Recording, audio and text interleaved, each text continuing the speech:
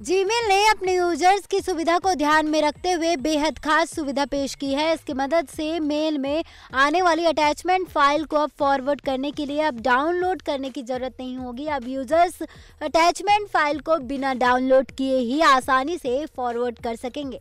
जबकि अभी तक किसी भी अटैचमेंट फ़ाइल को अन्य मेल आईडी पर फॉरवर्ड करने से पहले उसे डाउनलोड करना पड़ता था।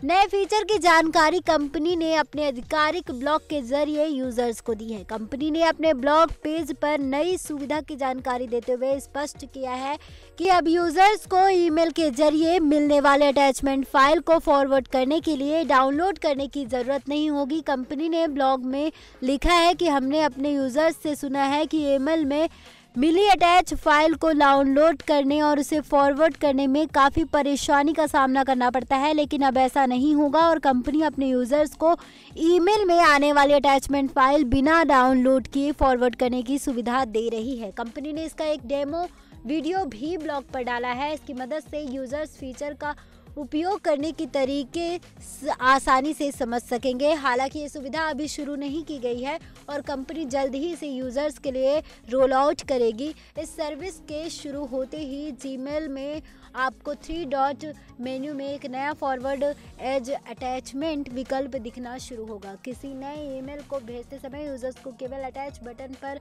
क्लिक करना है। बता दें कि हाल ही में गूगल के सीईओ सुंदर पिचाई ने यूज़र्स के लिए अलर्ट जारी करते हुए ट्वीट किया है। उसमें जानकारी दी है कि किसी अन्य वेबसाइट पर लॉगिन करने से उनका पासवर्ड चोरी होने का खतरा है। साथ ही, कंपनी ने अपने यूज़र सिक्योरिटी को ध्यान में रखते हुए गूगल क्रोम के लिए एक प्रोटेक्शन फीचर भी जारी किया है। ये फीचर यूज़र्स को मॉलवेयर से प्रभावित ब्राउज़र का रियल टाइम अलर्ट देगा।